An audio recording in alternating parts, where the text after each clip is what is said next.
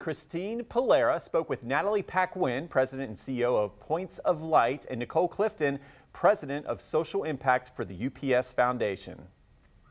Natalye, Nikki, thank you both so much for being with us today. Natalye, I want to start with you because Points of Light is recognizing Global Volunteer Month throughout the whole month of April. For anyone not familiar with this initiative, tell us all about it.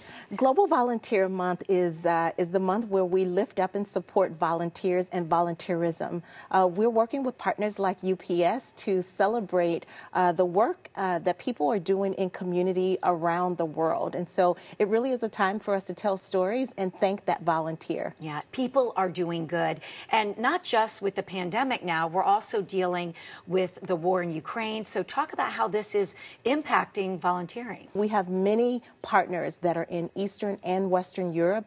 They are on the ground, um, really helping to provide humanitarian services uh, to the many people who are displaced. And so, uh, this is a month in a time where we say thank you to them as well. Yes. And, and Nikki, I want to turn to you now. Many people, of course, think of UPS UPS as a delivery company, but you are delivering more than just packages. You're delivering help to communities in need.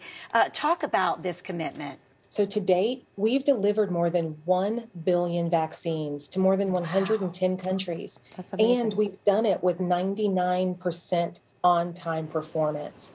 The UPS Foundation has also prioritized vaccine equity and we've underwritten the delivery of more than 33 million doses in underserved countries and marginalized areas across five continents.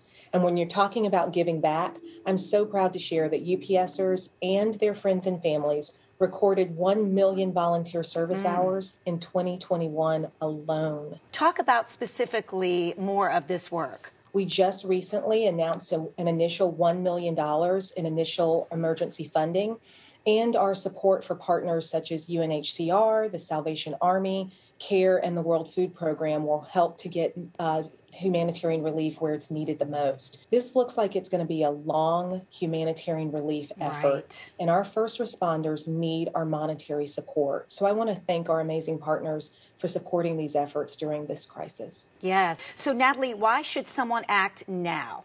As Nikki said, unrestricted cash donations is what's really needed uh, right now, but there are things that you can do in your community as well. There's always an opportunity for um, you to support food insecurity, making wellness calls. You can always clean up a park or work with students as well, and some tutorial services are good ways to volunteer. Thank you so, so much, both of you. I appreciate your time. And thank you for making us more aware of the ways that we can get involved in Global Volunteer Month. We so appreciate it. Thank you, Christine. Thank you so much.